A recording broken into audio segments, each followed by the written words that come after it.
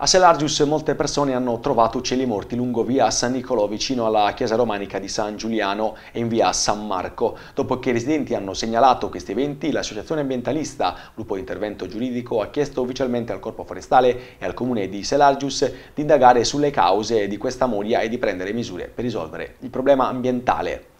E ieri sera un incendio si è sprigionato in un appartamento situato in via Leonardo da Vinci a Olbia. La squadra dei vigili del fuoco del locale distaccamento è intervenuta allertata dai residenti della zona che avevano notato le fiamme e il denso fumo emergere dall'edificio. I pompieri, una volta arrivati, hanno dovuto affrontare un intenso fumo acre che aveva invaso l'intero appartamento e un fuoco che stava consumando principalmente l'ingresso dell'abitazione. Il proprietario dell'appartamento è stato prontamente soccorso e messo in sicurezza, affidato alle cure mediche del 118. Le sue condizioni sono state ritenute non critiche. Sul luogo dell'incidente sono intervenuti anche i carabinieri. Restiamo in eh, Gallura, nel Parco Nazionale dell'Arcipelago di La Maddalena, dove è forte la presenza degli ibridi di cinghiale, si sta attuando dal 2022 un piano di eradicazione. Di questo si è parlato nel corso di un seminario svoltosi a Caprera. Questa mattina Claudio Ronchi. Piano di eradicazione degli ibridi di cinghiale, stato dell'arte e azioni future. Era questo il titolo del seminario organizzato dal Parco Nazionale di La Maddalena il 30 gennaio a Caprera presso il Centro di Educazione Ambientale.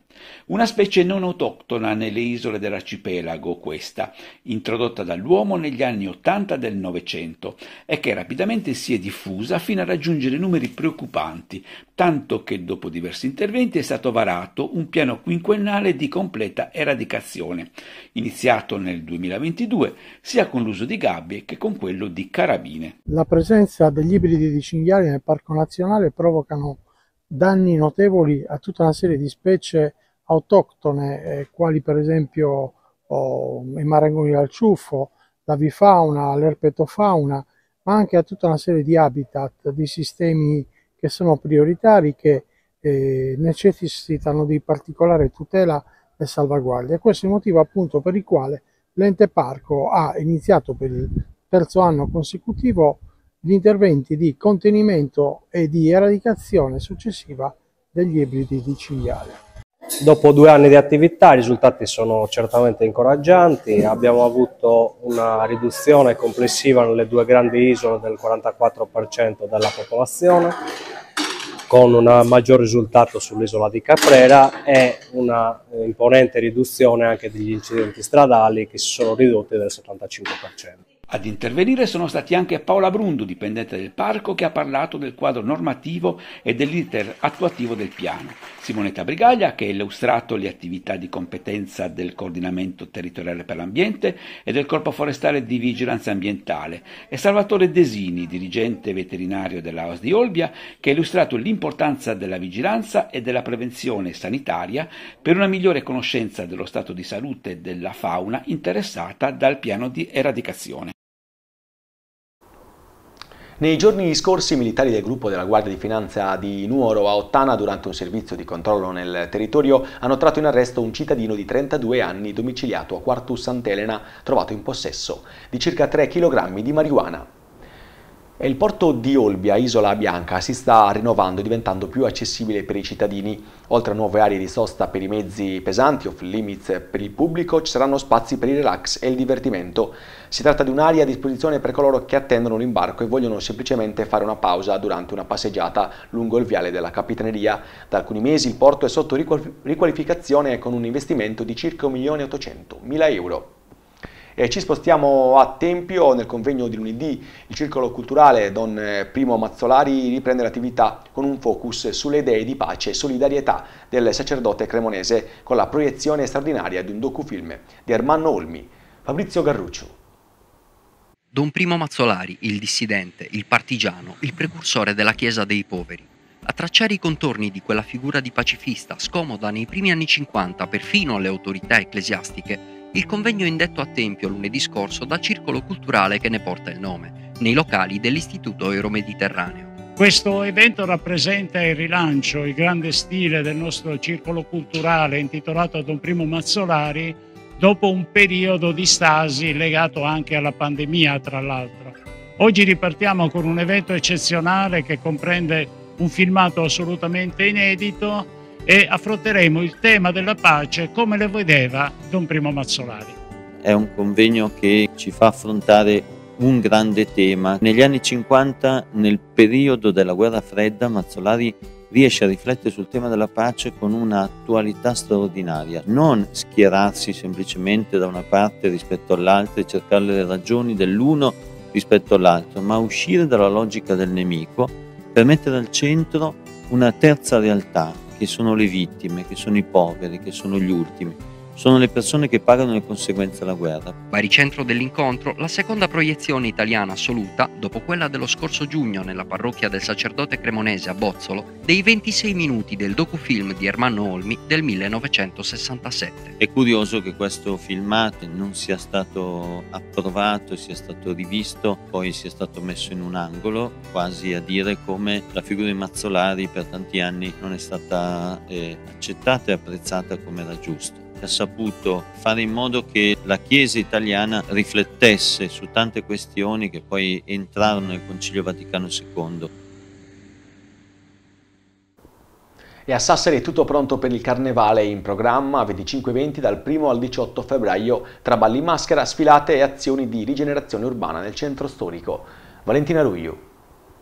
È stato presentato il Carnevale di Sassari per il 2024, che quest'anno costerà al Comune circa 72.000 euro. Il cartellone prevede oltre 25 eventi spalmati dal 1 febbraio fino al 18. Le proposte più meritevoli sono state patrocinate in parte sovvenzionate dal Comune, a seguito di un'attenta selezione delle istanze ricevute in risposta all'avviso pubblico del 27 dicembre. L'evento di punta è un gran ballo in maschera che avrà luogo il giorno di martedì grasso in Piazza d'Italia delle 18, ma non mancheranno anche le sfilate carnevalesche che animeranno il centro cittadino e le borgate. La città ospiterà anche carri allegorici, eccezionalmente anche una sfilata dog e naturalmente occasioni in cui gustare frittelle e favata. In particolare si segnala la sinergia tra le associazioni La Volpe Bianca e il Colombre che con delle vere e proprie azioni di rigenerazione urbana si propongono di coinvolgere il centro storico. C'è una caccia al tesoro eh, che è un, un, gioco di ruolo in realtà, eh, basato su uno storytelling che parla di una scuola di magia e stregoneria esistente in Sardegna e tutte le squadre dovranno raggiungere ogni parte del centro storico e superare delle prove. Poi ci sarà invece un'azione specifica nella piazza della scuola eh, primaria di San Donato dove eh, ci saranno dei giochi Mm, che si potranno fare per tutta la famiglia tutto il giorno, giochi della tradizione, giochi in legno, in collaborazione con l'associazione Tricirco e poi ci sarà anche un enorme pannello dove un artista sardo che è Roberto Chessa, eh, un artista di livello ormai internazionale, insieme ai bambini e alle bambine realizzeranno un pannello che poi verrà lasciato alla città e il tema sarà proprio quello del centro storico eh, del carnevale. Domenica scorsa a Olbia si è tenuta un'antica festa dedicata allo sposalizio di Giuseppe e Maria che ha coinvolto 200 coppie di sposi. Vediamo. Quasi 200 coppie di sposi si sono ritrovati a Olbia per vivere lo sposalizio di Giuseppe il Carpentiere e Maria la Madre di Dio, un'antica festa della Chiesa che affonda le sue radici nel XV secolo. Fu Jean Gerson, gran cancelliere dell'Università di Parigi, morto nel 1429 a lasciare disposizioni testamentarie per la celebrazione di una messa in onore di questo matrimonio il 23 gennaio. Da qui la ricorrenza è stata inserita nei calendari di diversi ordini religiosi, iniziando dai francescani e proseguendo con i servi di Maria, i Domenicani e Carmelitani, anche se la celebrazione non è mai stata inserita nel calendario ufficiale della Chiesa per evitare ridondanza con la festa della Sacra Famiglia il 30 dicembre. Nella città gallurese l'incontro è stato organizzato dalla parrocchia di Nostra Signora della Salette e da quella di Sant'Ignazio d'Alaconi. A coordinare la giornata il direttore diocesano dell'ufficio di pastorale familiare, Don Gianfranco Cascioni. Eh, la giornata di oggi si è svolta eh, in modo, eh, possiamo dire, pertinente alla, alla spiritualità familiare eh, prima di tutto un momento di preghiera, un momento di invocazione allo Spirito anche sui coniugi, i coniugi invitati, gli invitati alle nozze che hanno eh, invocato lo Spirito sui coniugi eh, Oreglia, perché davvero potessero darci eh, il meglio di sé. Eh, hanno continuato con, con, la loro catechesi, hanno proposto una catechesi, possiamo dire, bellissima, meravigliosa, coinvolgendo anche tutti gli, tutti gli sposi presenti, presenti in sala. Le coppie hanno vissuto un momento di riflessione e preghiera con il contributo di Nicoletta Musso e Davide Aureglia, artigiani delle relazioni, come amano definirsi, una coppia di sposi che vive a Mondovì insieme ai loro cinque figli, impegnata nella pastorale familiare, tenendo corsi e incontri in tutta Italia. Oggi abbiamo raccontato la bellezza del sacramento delle nozze, la bellezza della relazione fra uomo e donna e l'indispensabile azione di manutenzione ordinaria che deve essere fatta perché la nostra relazione cresca, perché la relazione, come dice Papa Francesco in Amoris Letizia, ogni amore che non cresce corre seri pericoli e crescere è prezioso, essenziale e con piccolissimi gesti si può garantire questa crescita alle nostre relazioni. Al termine dell'incontro, gli sposi, con in mano delle piccole candele, sono entrati in chiesa, mano nella mano, e in un clima di preghiera e fede hanno rinnovato le promesse nuziali. Il sacramento del matrimonio non è una garanzia, non è neanche una semplice benedizione, è una presenza reale di una persona, per chi crede, che è Gesù, che fa il tifo per la nostra coppia, si allea con noi per due obiettivi, uno per quello di, fa- di farci stare meglio, uniti, essere l'immagine del, del suo volto nel mondo e quello di essere misericordia per le tante persone che incontriamo sotto i vari aspetti e secondo la vocazione di ciascuna coppia, di ciascuna famiglia. E passiamo alla pagina sportiva, la società dell'Olbia Calcio annuncia l'ingaggio di Stefano Guidotti, centrocampista classe 99 del San Gallo, cresciuto nel Lugano. Guidotti aveva presenze, eh, vanta presenze in Europa League e nella nazionale svizzera Under 21 e dopo una stagione al San Gallo inizia così una nuova avventura in Sardegna con un contratto fino al 30 giugno 2024. È tutto per l'edizione del nostro telegiornale, grazie per averci seguito, io vi auguro un buon proseguimento di serata.